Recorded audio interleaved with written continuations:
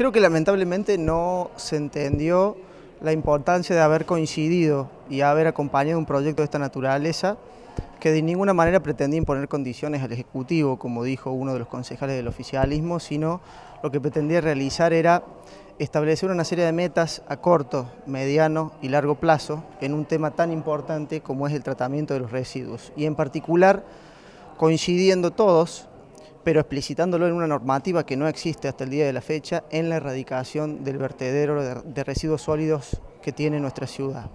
¿Por qué es importante hacer una normativa? Porque eso significa que por más que pasen las administraciones, la normativa va a quedar y las acciones que se tiendan y que se realicen van a ser realizadas en función de ese objetivo final, que por supuesto no se puede lograr de un día para el otro, pero que en definitiva todas las acciones que realicemos deben ser elaboradas en función de un plan cuyo uno de sus objetivos fundamentales debe ser, a nuestro modo de ver, la erradicación del vertedero. El Ejecutivo está realizando acciones en este sentido.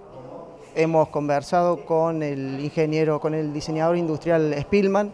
Él nos ha contado la serie de acciones que tenía, que había realizado el Ejecutivo en este sentido. Saludamos esas iniciativas, pero nos parecía importante que como ciudad contáramos con un plan de trabajo que nos permitiera, primero, reducir el volumen de basura que producimos diariamente los belvillenses. Segundo, tener un plan de contingencia ante los reiterados incendios que tiene el actual vertedero.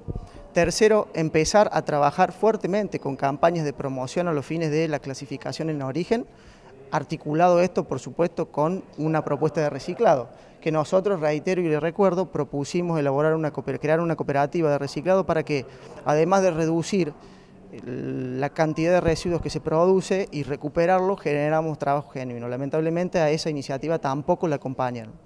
Pero más allá de eso creo que hubo una gran contradicción hoy porque eh, el bloque oficialista también explicitó que estaba de acuerdo con los objetivos, estaba de acuerdo con el espíritu, con el objetivo, pero que no iba a acompañar este proyecto. Pero bueno, seguiremos trabajando, siguiendo haciendo propuestas en esta materia, es un problema estructural de nuestra ciudad y vamos a seguir colaborando desde nuestro lugar para que podamos solucionarlo. Ahora, surge de, esta, de, esta, eh, eh, de este tratamiento de esta noche también que el actual vertedero de residuos o, la nueva planta de tratamiento de residuos dice que está colapsada, que no está funcionando o que no está dando las respuestas que debería estar dando para posteriormente cerrar el otro vertedero.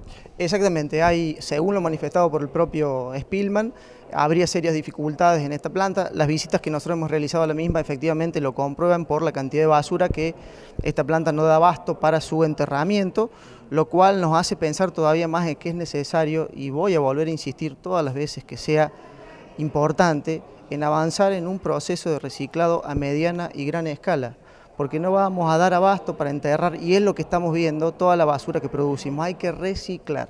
A su turno, el presidente del bloque de concejales del radicalismo, Emiliano Yanchuk, fundamentó el rechazo oficialista a la iniciativa de Pedano. Bueno, el fin del proyecto, que es el de erradicar el basural a cielo abierto, estamos de acuerdo todos los bloques. Es una cuestión necesaria y que la, sociedad lo requiere. Pero el proyecto en sí no, no presentaba nada concreto. Encomendaba al Departamento Ejecutivo Municipal a eh, confeccionar un plan, una estrategia, un plan estratégico para erradicar el basural, sin previamente conocer cuáles son los planes que tiene el actual Ejecutivo. El problema de la basura no, no nace en esta gestión, es un problema que viene de años y que cada vez es más difícil de solucionar.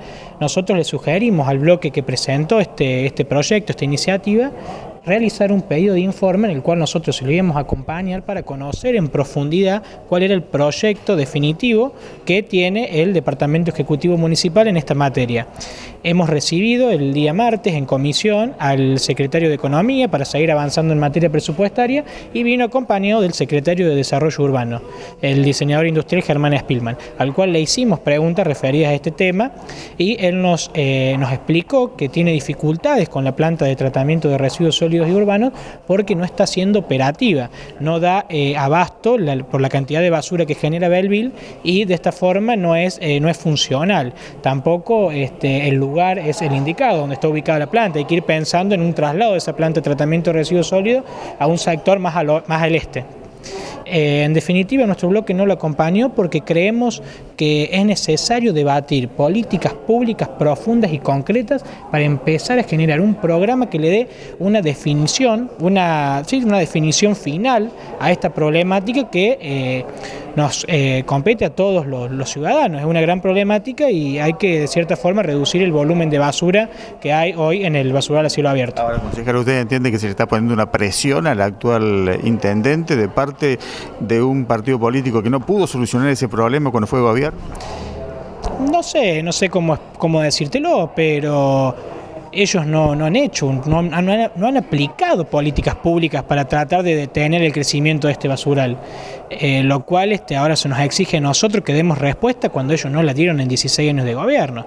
Y no solamente ellos, esto viene de más años todavía, es una problemática en general. Ellos han instalado, han, han dado en función una planta de tratamiento de residuos sólidos, pero que en su momento no han hecho una evaluación de impacto ambiental correspondiente, como indica la ley de ambiente. Y tampoco han tenido en cuenta una planificación territorial. Eh, que hoy da las claras que esta planta está mal ubicada, que tiene que desplazarse un poco más al este. Está en un sector donde la sociedad va a avanzar y va a crecer y queda eh, de forma eh, descomunal en donde está hoy esa planta.